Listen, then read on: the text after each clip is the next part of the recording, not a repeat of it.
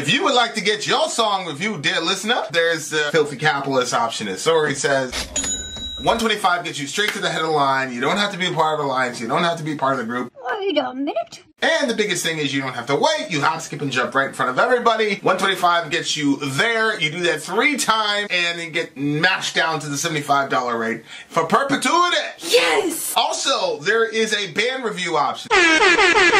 So if you've got a band and you're trying to get your band some exposure, hit me up at instory at gmail.com and I'll show you the details about how to pull You that off. You can also jump on Patreon, and there is a option on the tiers to be able to get your band reviewed. Obviously, we can't lie to you, so we can't guarantee, Can't a positive you a review. positive review.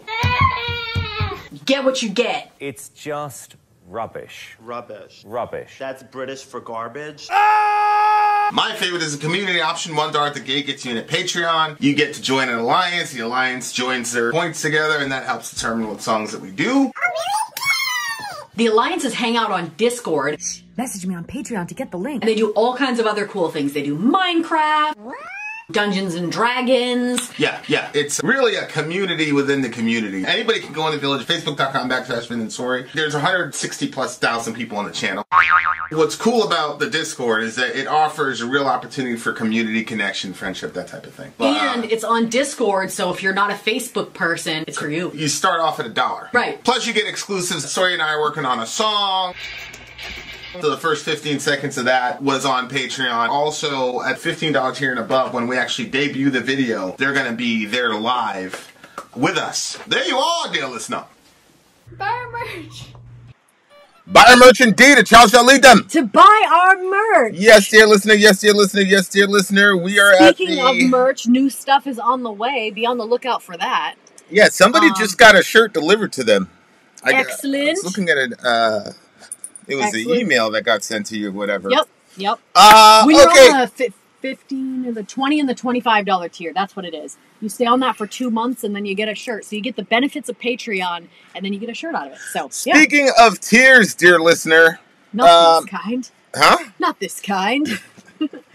it's Revo's birthday. It is Revo's birthday. birthday, Correct. Revo. Um, Revo's Revo birthday. may or may not show up. Um, he's been enjoying his birthday in Korea, to my understanding. Yes, sir, So, Bob. Uh, I think that his, yes, his, sir, Bob. his long, all of his, all of his moments spent with his spent with his friends, I think, is uh, keeping him rather occupied. But we're still going to do this stream for him, and he's going to catch it when he can. That's right. So- Shout out to Revo. Yep. Um, one of our favorite human beings, man. One of our favorite Homo sapiens of all time. Yep. He's Gotta be. He's put us in the know with with the old stuff and with the new K-pop stuff. That's so interesting. Yeah. Yeah, yeah. All right. With with the old with the old stuff indeed. Happy birthday, Revo. Honestly though, shout out to the big homie Revo, man. He, he's uh he he's he's one of the he's one of them ones, as we used to say in the hood. He one of them ones, man. He one of them The ones. real ones. He's one of them ones. Okay, so as you guys know, the DJs always have an opportunity to say what it is they want us to hear and to know before the stream starts. And this is Revo's intro. He says, It's Revo's birthday again! he said, I'm on a trip to East Asian, um, two East Asian countries, and I am actually going to make you endure a stream of some of the latest K-pop hits. Ah boy, a lot of the music is actually influenced a lot by 1990s hip hop and 90 and 80s rock, as that was when the genre first developed. Definitely see some of that in there. Last year, I did a stream with. We're on the lookout for that. Uh Seo Taiji and, And- the boys. I'm not I'm completely destroying that enunciation, forgive me, but that's that's as much as you're gonna get from me. I barely graduated high school, I went to public school, leave me alone. the she continues. the groups who break out introduced Jack new swing style hip hop that is considered the start of K-pop because this event happened on the same day as my birthday. He says, which is April 11th. This year, I'm going with with current hits based on music video counts. I'm actually going to start in November of last year since those songs continue to to rack it higher with view counts on even at the start uh, of the year. I don't necessarily like these songs or the artists. it's based on the metric of the songs that attracted the most attention on YouTube, which traditionally biases girl groups. Girl groups get the highest streams on music sites like Spotify or YouTube, but boy groups have the highest physical sales. Wow. That is interesting. is- that is it. And the, the great Revo has entered the room, by the way. Shout out to Revo. Happy birthday, my guy. Can we whisper? Oh, why, where, where's our sound coming from? Uh, it's probably coming from the MacBook itself. Let me Okay, plug I'll this, let you handle Let me that. plug this guy in here. Girl group. Okay, so we already heard that about the girl groups. Um, get the highest physical sales. That honestly, that like annoys me. It's like okay, so you'll tune in to watch them jump around on screen and listen to their music, but you won't actually buy stuff that's going to give them money. Extremist. He says one is more popular than the other. Doesn't mean the other ones are going broke.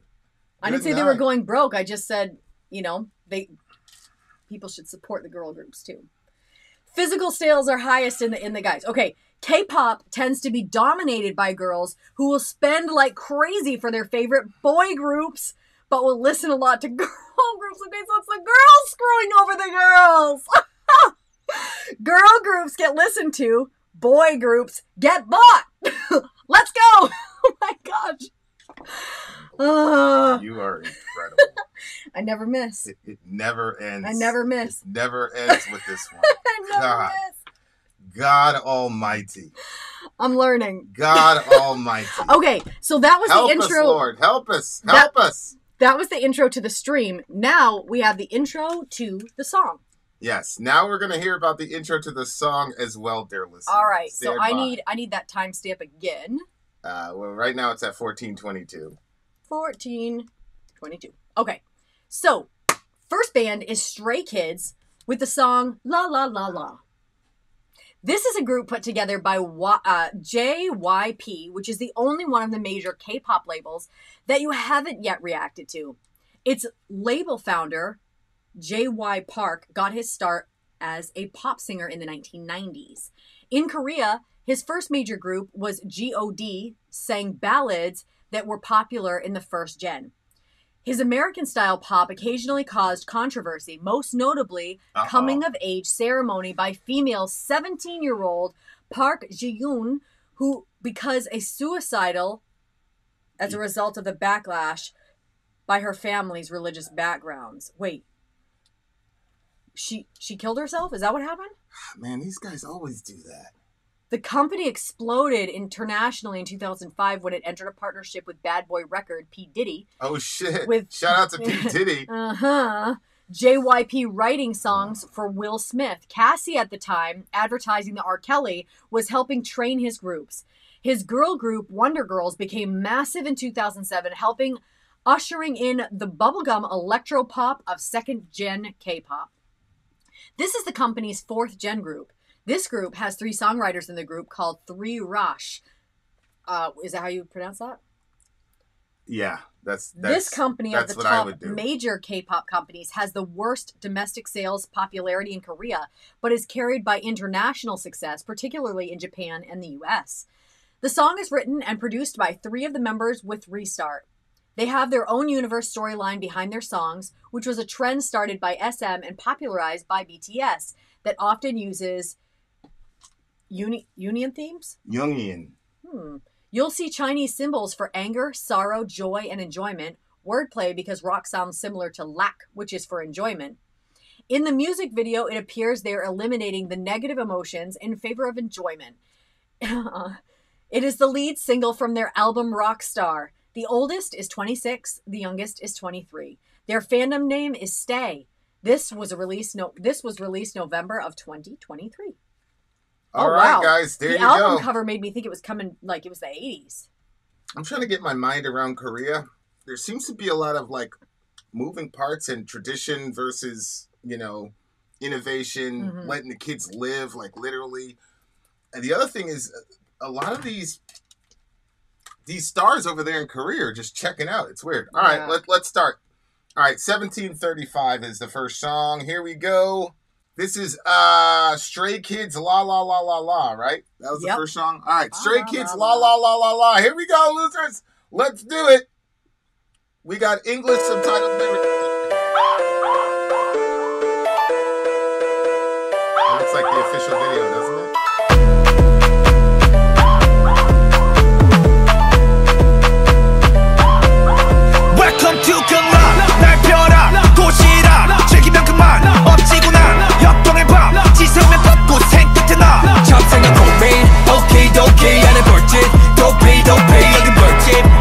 정이 피할 수 없음 소리가 보자.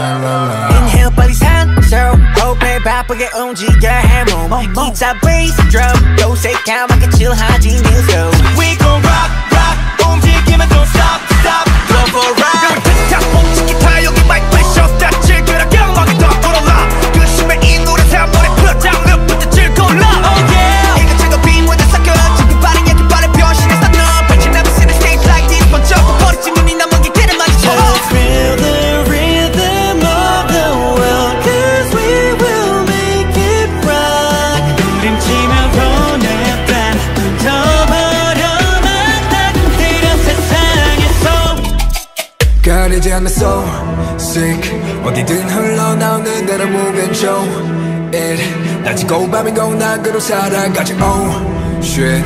피할 곳 없이 부딪혀 쾅쾅 쳐대자고. 정적과 부정적 에너지 타파. 라라라라라라라라라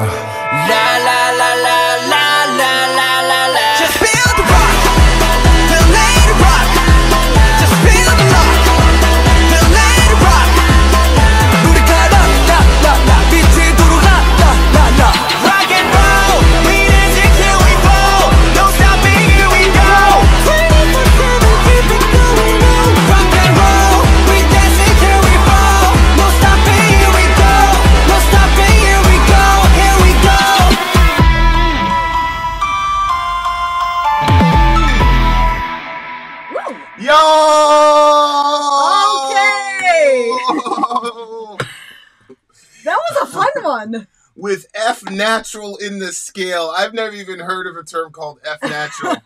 you guys, you guys, you guys are actual musicians. Hey, shout out to our crew on Rumble. Thanks for showing up. Rumble gang That's in this right. bitch. Rumble gang Check in the link bitch. in the description if you want to get on hey, Rumble in share, the future. share it around. We're gonna have some fun stuff. There's certain things that you know YouTube doesn't allow, um, namely watching movies together. So that's gonna be happening on Rumble. So if you're Watching TV interested, shows, yeah. maybe? So if you're interested in something like that, get the link in the description and get yourself signed up. It's free, to my understanding. That's all free.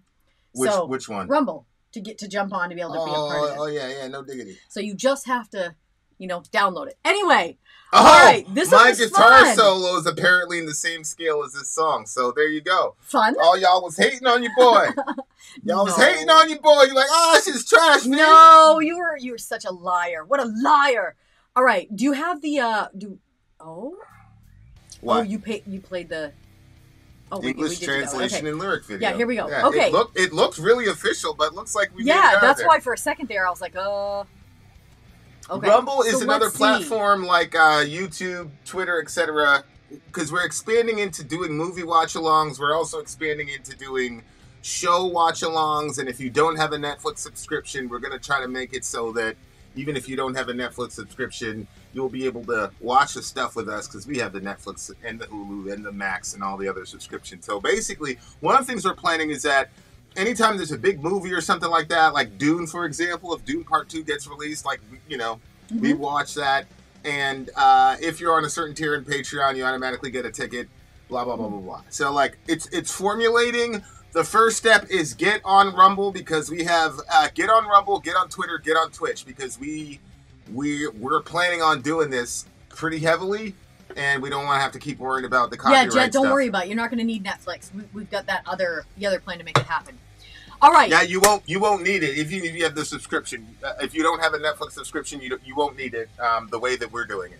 All right. So it's so- basically that. Okay, now do me a favor and send me the link to the website that you're on right That now. is on Trello. oh, it's on Trello. Yep, Okay, it's right up on Trello. Okay. you got the so timestamps and everything. the- for yeah. Okay, Yep. go for it. Welcome to heaven, rock. Thunderbolt rock. Cities rock rock. Having fun is all that matters, rock. Um so that's the word it's like lock, which I guess sounds like rock when they're saying it, Gotcha. is what he said. Um I think if I understood that correctly. No more worries, rock hard nights, hanging in until it's over until uh, oh, are you okay? yeah. Uh, after pain comes joy. Trivial thoughts. I, I actually like that. Like, Why? well, it's it's seemingly. Well, I'm know, glad to positive, hear you that know I'm saying? message. Uh, Yeah. After pain comes joy, considering how hard it Yeah. is for these. Um, Yeah. for um I mean kids. any of the artists in Yeah. Korea, but it looks like the girls really have it bad. It Yeah. looks like the girls over there in boy band. Korea, like there's a lot of shit that they have to go through, but Yeah. But it, it- yeah, it, it it also looks like the it's it seems like they're both just crum. I don't know if it's crumbling under the pressure as much as it is. It's like, you know, we've got the internet. Like we could God, see how everybody we could see how everybody else lives. Yeah. You know what I'm saying? So I think it's it's a little bit different because I'm not getting like a revolutionary sense or whatever, Mm-hmm. but you're definitely like you're definitely getting some sort of uh, resistance, you know, uh, to to a degree. And I don't know how how much resistance is wise, considering the circumstances that they're in. But Mm. Yeah. you know, what can you do? So Um, he says, trivial thoughts and worries, okie dokie, no more stupid stuff. Move, move. This is a beehive. Bees everywhere. You can't hide from it. Put up with the getting, with with getting stung. I, I don't really What's understand. what's funny about I that? just it, just probably sounded different in their language, and when it got communicated over to ours, I've just never heard of it like being a beehive and look out from getting put up with getting stung. You think he's talking about like when everybody's in there? Is it almost like everybody's thrashing around? Like is it like that, like the beehive, and you're gonna get stung? Is I, I don't this know is a was, like- beehive. Bees everywhere. If you can't hide from it, put up with getting stung. Well, usually there's this phrase called hive mind, okay, and hive mind is this idea. I mean, it's basically the social media landscape we're in right now. It's basically everybody's together and everybody thinks the exact same thoughts and they do the exact same things to accomplish a goal. Because you know, like a beehive, it's a very industrious, Mhm. almost urban area down there, and so use the term hive mind to describe large groups of people who think, feel, act the same way about everything. Oh, okay, Uh, and it's it's a way of So talking negative? about it's it, usually when you talk about a hive mind, it's it's in a negative context. Okay. It's it's a way to talk about, um, you know, the, the the constant clash between individualism and collectivism. I just That's took it as constantly that's constantly in motion. you're you're in a crew they're probably like at a club or something like that and everybody's bumping around like it's like a beehive up in here there's a lot of action and if you don't you know like you're gonna get stung people are gonna get hurt you're gonna get you know what i mean like i thought that's what where he was going with that Yeah, I think what he's saying is if you if you don't use if you don't conform to hive mind, then you're going to get stung. In other words, that that particular culture or society is going to find a way to punish you Mm. for not going along with the, you know, with the majority or whatever. Hmm. That's how I interpret it.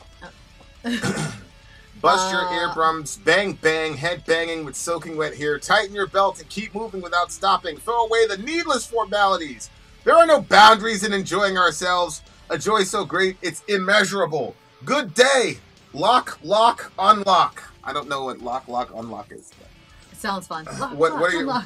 What's going uh on? yeah i mean to i think that this could have like two meanings right you could have the whole like what i was saying before where it's like okay you're you're in the club it's like party time like burst your eardrums bang bang like we're playing it loud head banging with soaking wet hair tighten your belt and keep moving without stopping like like there's so much action like tighten your belt like don't lose your pants and like there's a lot going on Yeah.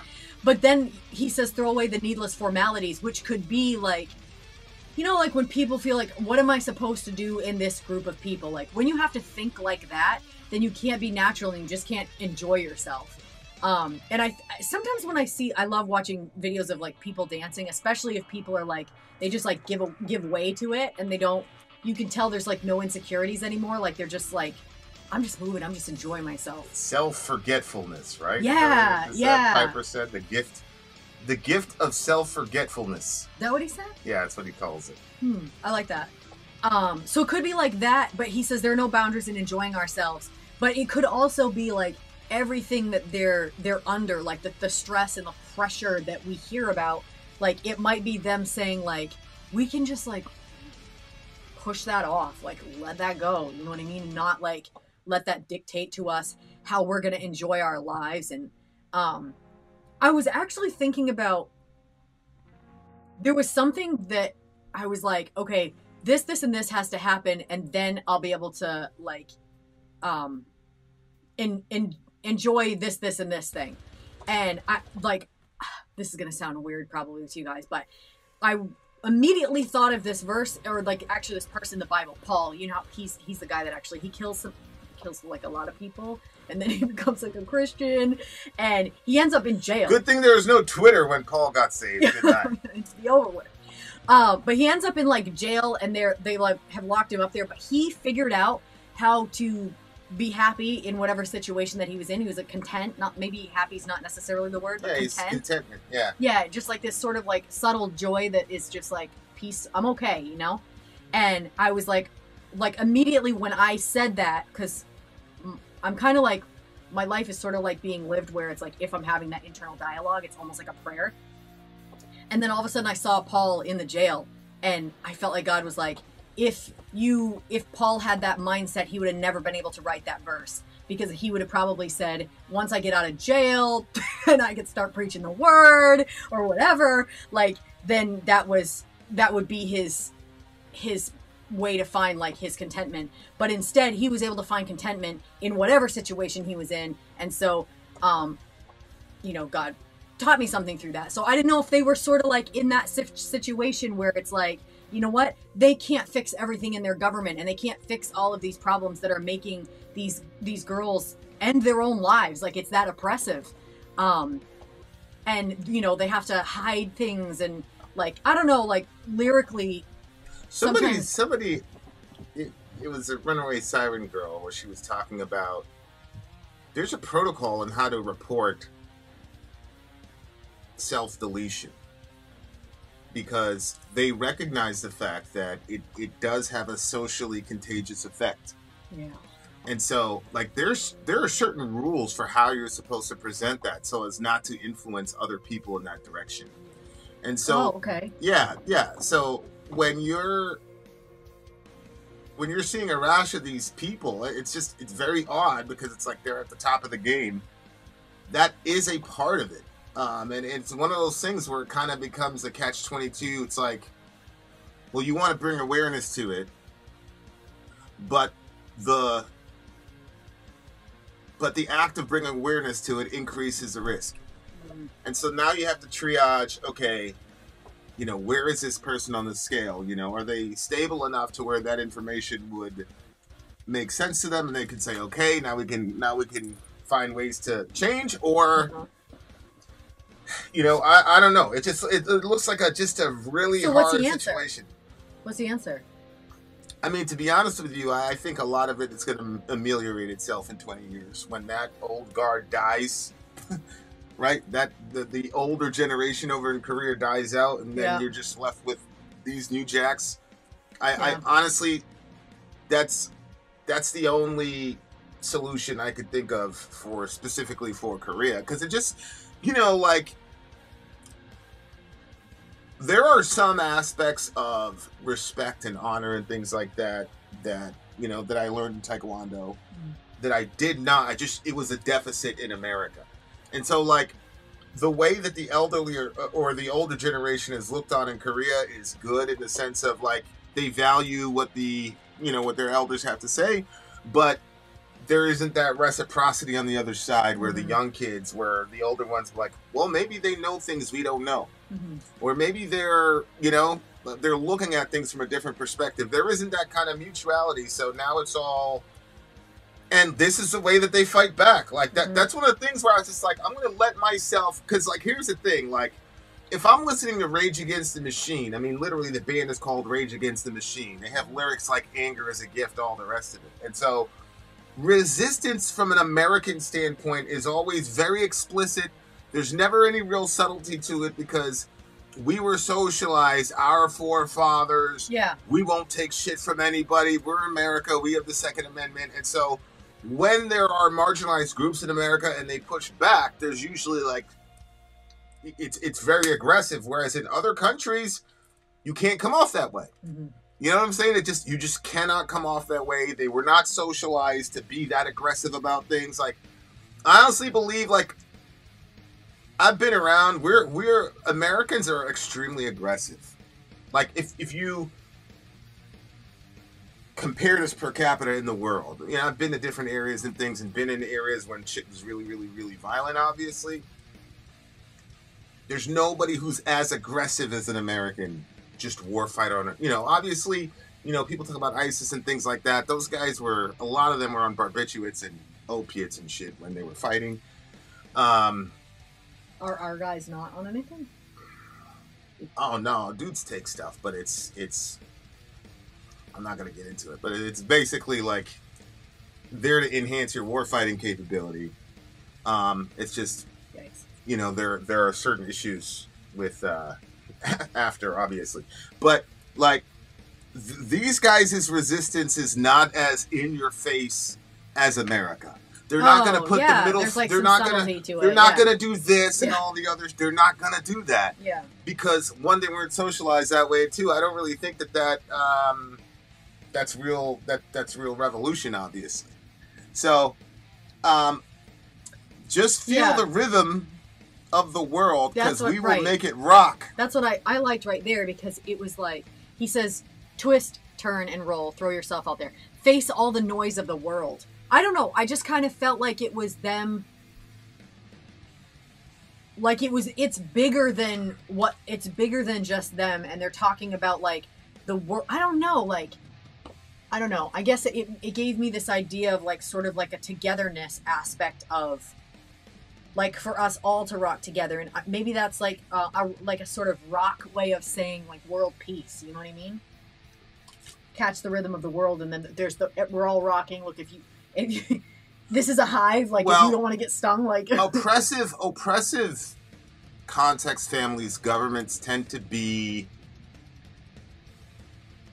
more right-brained more logical and the younger generation is usually more emotion so and, and then it's it's really interesting because you know the the difference the distinction between logic and um, you know the head versus the heart when it says just feel the rhythm of the world, right? Yep. He's talking about experience it, yeah right? Like not in a book, like experience it. You know, we talk about this with Christianity. It's like, yeah, you've got a book, and the book is great, but are you experiencing the person in the book? That's the issue. Mm-hmm. So, like here, when he's saying, feel the rhythm of the world, that's not a cognitive exercise. Mm-hmm. So it's appealing to the other side of, of humanity, the side of us that's creative, the side of us that intuitively understand certain things, right? Like th- there's like when the music comes on and things of that nature, there's things that we just intuitively know that we didn't stop and think about and all the rest of it. Like I see with the kids, music comes on, they start moving. They're not thinking.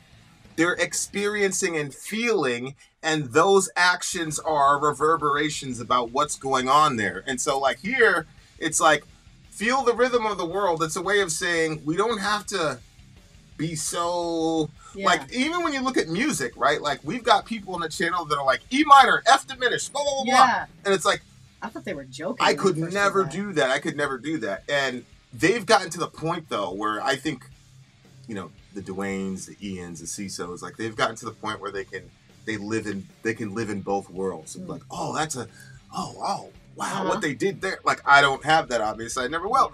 But like it's crazy to me. Like, I'm sitting there watching, but but what they're talking about here is like the heart. It's the focus on the heart. It's focused on experience. They're saying, look, not everything has a cool cookie cutter or whatever. This is about as re- revolution, revolutionary as as uh, one can be.